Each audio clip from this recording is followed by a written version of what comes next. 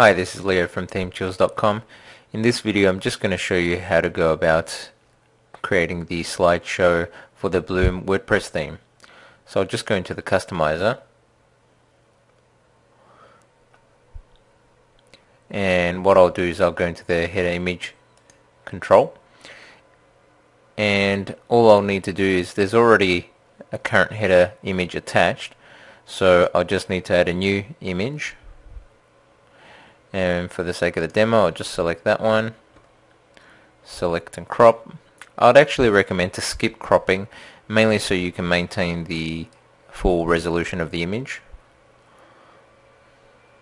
Now that it has two images associated to it I'll turn the slideshow on and we should be able to see that the slideshow fade time will start to kick in.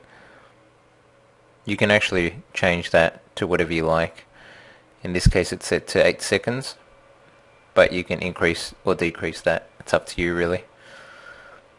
In addition to this, you'll see that there's this effect here happening where the image itself stays fixed. You can actually disable that if you don't want it. And what will happen is pretty much you'll see that the image stays um, static with the scroll. But I actually prefer it to be enabled, so I'm just going to go with that.